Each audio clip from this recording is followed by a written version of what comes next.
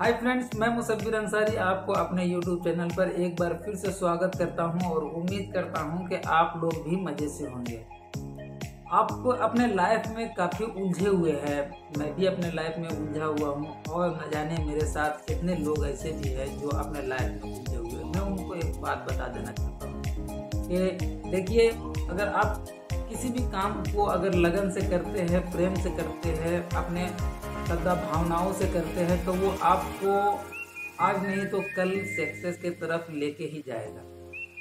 लेकिन शर्त ये रहता है कि आप उस चीज़ को दिल से किया कीजिए। अगर आप किसी चीज़ को दिल से करते हैं तो वो आपको आखिरी वक्त तक वो कहीं ना कहीं अच्छा चीज़ ही दिखाएगा। ऑप्शन आपके पास यही है कि आप जो चीज़ कर रहे हैं, वो चीज़ में लगे रहें। एक बार की मैं आपको कहानी बताने जा रहा हूँ। कि एक शख्स, एक इंसान था जो अपने लाइफ के बारे में लेकर काफ़ी एक्टिव था। वो सोचता था कि मैं अपने लाइफ में अच्छा करूँ जिससे मेरा परिवार और मेरी फैमिली का नाम हो। तो उसने क्या किया? बहुत अच्छे से पढ़ाई की। बहुत पढ़ाई करने के बाद एक बार उसको एक अच्छा सक्सेस मिस्त्री मिल गया। मतलब अच्छा इंसान मिल गया जो हर चीज़ को बना सकता था। तो उसने फिर सोचा कि मैं अच्छा मिस्त्री बन जाऊँ अच्छा काम करूँ। उसके बाद फिर जब वो अच्छा मिस्त्री बन ही रहा था कि उसको आज एक सिंगर से मुलाकात हो गई तो सिंगर ने कहा कि तुम्हारा आवाज़ बहुत बढ़िया है, तुम ट्राई क्यों नहीं करते?